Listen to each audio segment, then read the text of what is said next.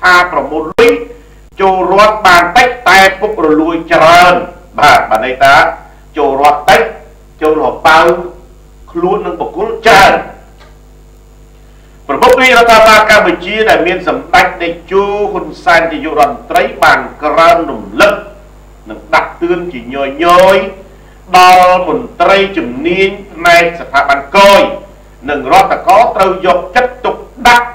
បាទនឹងខិតខំបំពេញកាតព្វកិច្ចបាទការងារឲ្យបានល្អនិងមានប្រសិទ្ធភាពខ្ពស់ក្នុងការប្រមូលពន្ធចូលថវិកាជាតិប៉ុន្តែបើទោះបីជាប្រសាសន៍ដ៏គង់ពុះរបស់សម្ដេចតេជោតែងតែដាក់ទឿនក្រើនរំលឹកបុករួមទាំងអធិក្រមទាំង5បាទតែថ្មីថ្មីនេះទើបតែដាក់ចេញឲ្យអនុវត្តទៀតគឺងូទឹកឆ្លុះកញ្ចក់ដុកក្អែល បាទជាបាល់នឹងវះកាត់នេះក្តីបាទមន្ត្រីកយមួយចំនួននៅក្នុងព្រះរាជាណាចក្រកម្ពុជាជាពិសេសមន្ត្រីមន្ត្រីកយផ្សារព្រំនេះតែម្ដងបាទច្រកអន្តរជាតិព្រំនេះតែម្ដងមិនបានយកត្រចៀកស្ដាប់និងអនុវត្តបាទនៅអនុសាសន៍បាទដ៏ថ្លៃថ្លារបស់ប្រមុខរាជរដ្ឋាភិបាលនោះឡើយ ជាក់ស្ដែងលោកទីប៊ុនឡុងប្រធានការិយាល័យកយនឹងរដ្ឋកោច្រកអន្តរជាតិបាទច្រកទ្វារអន្តរជាតិផ្សារព្រំខេត្តបៃលិនកំពុងតែរងការរិះគន់ថាប្រមូលលុយចូលរដ្ឋមិនសូវជាបានច្រើនទេ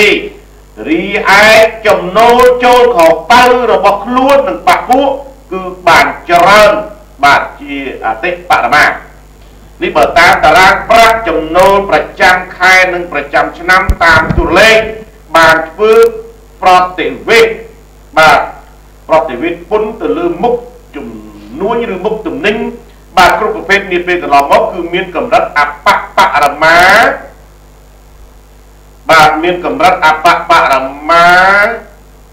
ដល់តណាយមិញបាទកម្រិតអបបរមា ជាប់នេះហើយអីហើយអានោះវាច្បាស់អឺដែលមានកម្រិតត្រឹមតែអបបរមាប៉ុន្តែចាប់តាំងពីលោកទីបន្លំមកកាន់តំណែងជាមេកយនៅទីនេះគេសង្កេតឃើញថាមានភាពមិនប្រក្រតីជាច្រើនចំពោះការប្រមូលពន្ធជូនរដ្ឋដោយដាក់ការសង្ស័យទៅលើការប្រព្រឹត្តអំពើពុករលួយជាច្រើនគណៈដែលរាជរដ្ឋាភិបាល និងបើកយុទ្ធនាការកម្ចាត់អំពើពុករលួយដែលពាក់ព័ន្ធដល់មន្ត្រីបម្រើការនៅតាមក្រសួងមន្ទីរឬស្ថាប័ននានាជាច្រើនបើតាមសេចក្តីរាយការណ៍បានឲ្យដឹងថាលោកទីបន្លំបាទបន្លំបាទទីបន្លំមេកយប្រចាំច្រកទ្វារអន្តរជាតិព្រំបានបើកដៃ ឲ្យមន្ត្រីក្រមអវាទចាំតែយកលុយពីឈ្មោះរកស៊ីដឹកទំនិញគ្រប់ប្រភេទដែលចេញចូលតាមច្រកបាទអឺទ្វារអន្តរជាតិព្រំតែប៉ុណ្ណោះមិនដែលឲ្យរួចខ្លួននោះឡើយនឹងដោយគ្មានការត្រួតពិនិត្យនោះទេសំបីតែផលិតផលកសិផលផ្លែឈើដូចជាស្វាយក្នុងមួយរទេះ ត្រូវបងលុយឲ្យកយរូបនេះចាប់ពី5000រៀលឡើងទៅរហូតដល់មួយរមាក់ចាប់ពី10000រៀលទៅ15000រៀលហើយរថយន្ត Nissan Samsung និង Korea ត្រូវបង់បាទលុយចាប់ពី20000ទៅ30000រៀលទើបឲ្យឆ្លងកាត់ចូលទៅលុបនៅប្រទេសថៃនៅប្រទេសថៃ បានដែលក្នុងមួយថ្ងៃមួយថ្ងៃមានសកម្មភាពដឹកជញ្ជូនយ៉ាងកក្រឹកកកេងធ្វើឲ្យបាក់ពួករបស់លោកទីបន្លង់ល្បីល្បាញក្នុងការប្រមូលពន្ធប្រមូលលុយដាក់អប៉ៅ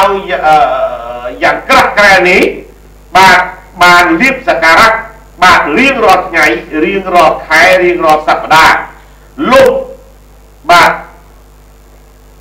នឹងមានបាទលុយសល់រាប់លានដុល្លារក្នុងមួយឆ្នាំឆ្នាំក៏មិនដឹងហើយបែរជាងៀតមកខាងចំនួនពន្ធក្នុងទូរលេខបាទបងជូនរដ្ឋវិញបែរជាធ្លាក់ចុះសុរតើលោកទីបន្លំយកលុយទៅចូលឯណាខ្លះព្រោះនៅច្រកព្រំនេះសម្បូរទៅដោយកាស៊ីណូបនលបែងក្លឹបខារ៉ាអូខេជាច្រើនស្ទើរគ្រប់ទីកន្លែង គឺមិនរំលងក្រសែភ្នែកលោកទីបន្លំនោះឡើយដែលគេដាក់ការសង្ស័យចំពោះបញ្ហានេះថាប្រហែលជាការអនុវត្តបាទការប្រមូលពន្ធជូនរដ្ឋរបស់លោកទីបន្លំក្នុងនាមលោកជាប្រធានសាខាគយនឹងរដ្ឋកោប្រចាំច្រកអន្តរជាតិព្រំនេះមិនបានយកចិត្តទុកដាក់ក្នុងការប្រមូលជូនប្រមូលពន្ធជូនរដ្ឋឲ្យបាន បាទត្រឹមត្រូវតាមច្បាប់កំណត់នោះឡើយបែរជាសម្បូរទៅដោយលៀបសក្ការៈក្រៅទៅវិញប្រភពផ្សេងទៀតបានឲ្យដឹងថាលោកទីបន្លងមេកយនេះបាទកំពុងតែបែកធ្លាយរឿងអាស្រូវក្នុងការប្រព្រឹត្តអំពើពុករលួយនៅច្រកផ្សារអច្រកអន្តរជាតិព្រំដែលបានបញ្ជាឲ្យកូនចៅទៅចាំយកលុយពីឈ្មោះរកស៊ីដឹកទំនិញសពសារពើ ដែលនាំចេញនាំចូលឆ្លងកាត់តាមច្រកផ្សារព្រំគឺមានករណីកយកលុយតាមអំពើចិត្តដោយមិនបានត្រួតពិនិត្យទៅលើប្រភេទទំនិញទាំងនោះនោះឡើយដែលទំនងមានការខុបខិតជាមួយឈ្មោះរកស៊ីទាំងអស់នោះឲ្យបងលុយដាក់ខែដាក់ថ្ងៃផលក៏មិនដឹង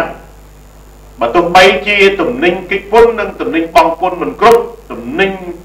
បាទបង្កប់និងទំនិញខុសច្បាប់ក៏ដោយក៏លោកទីបន្លប់បើកដៃឲ្យដឹកជញ្ជូនយ៉ាងរលូនដោយចាំតែសម្របសម្រួលបងលួយតែប៉ុណ្ណឹងជាក់ស្ដែងនៅលើមុខទំនិញមួយចំនួនទាំងនោះ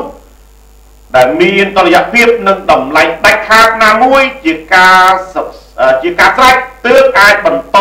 រកស៊ីបានជាមួយ គ្នាតទៅទៀតដើម្បីរក្សាបានផលប្រយោជន៍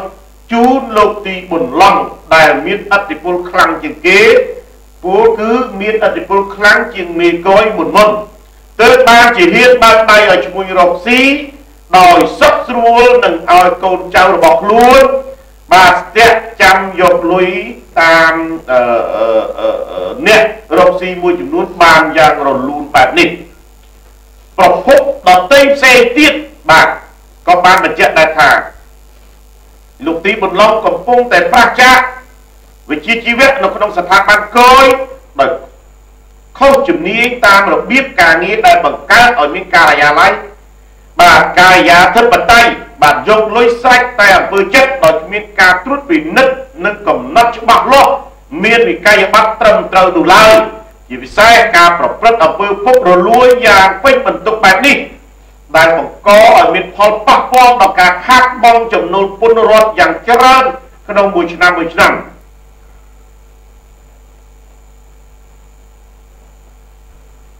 ពាក់ព័ន្ធនឹងបញ្ហានេះដែរបាទលោកទីបន្លំបាទតាមរយៈការប្រព្រឹត្តអំពើពុករលួយដែលមានការសង្ស័យនិងលើកឡើងដោយមានការបែកធ្លាយនេះហាក់បីដូចជាមិនមានការកោតញញើតនឹងច្បាប់ ដែលត្រូវផ្ដំទាទោសនៅកំហុសឆ្គងរបស់បុគ្គលទីបន្លំនេះឡើយទង្វើនេះវាកាន់តែជាអតិពលអាក្រក់ទៅដល់មន្ត្រីគយឯទៀតដែលខិតខំបំពេញកាតព្វកិច្ចបានល្អក្នុងការប្រមូលប្រាក់ចំណូលជូនរដ្ឋគ្រប់តាមផែនការនិងលើកពីផែនការកំណត់រីឯលោកទីបន្លំមេគយ ចោអន្តរជាតិព្រំបែរជានាំគ្នាកាត់កេងថវិកាជាតិធ្វើឲ្យបាត់បង់ប្រាក់ចំណូលក្នុងកម្រិតបាទទៀបបំផុតបាទរីឯប្រាក់ចំណូលបុគ្គលបែរជាមានការបាទច្រើនទៅវិញបាទមានការកើនឡើងច្រើនទៅវិញបាទពាក់ព័ន្ធនឹងបញ្ហានេះបងប្អូនប្រជាពលរដ្ឋបាទក៏បានអំពាវនាវដល់លោកគុណញឹម បាទក្នុងនាមជាប្រតិភូរាជរដ្ឋាភិបាលទទួលបន្ទុកអគ្គនាយកគយនឹងរដ្ឋកោកម្ពុជាបាទនិងអាដាមរដ្ឋមន្ត្រី បាទទេសរដ្ឋមន្ត្រីនិងជាប្រធានបាទអង្គភាពប្រឆាំងអំពើពុករលួយ ដែលហៅកាត់ជាភាសាបរទេសថា ACU ឲ្យទៅទៀតបាទសូមមេត្តាចាត់វិធានការស៊ើបអង្កេតករណីនេះជាបន្ទាន់ប្រសិនបើមិនមានការ ស៊ើបអង្កេតនោះទេប្រហែលជាអាចបាទធ្វើឲ្យបញ្ហានេះរីករាលដាលកាន់តែធំឡើងធំឡើងក៏មិនដឹងអំពើពុករលួយរបស់លោកទីបន្លំបានបាទទីបន្លំបានអឺឲ្យបានទាត់ពេលនោះទេបាទអាចមានបញ្ហាដល់មន្ត្រីគយដតីដតីទៀតហើយពាក់ព័ន្ធនឹងបញ្ហានេះដែរខាងទូទុះស្លឹករឹតយើង มันអាចសុំការបំភ្លឺណាមួយពីលោកទីបន្លំបាននៅឡើយទេបាទគណៈពេលដែលក្រុមការងារបានធ្វើការតំណាក់ដងតាមទូរស័ព្ទ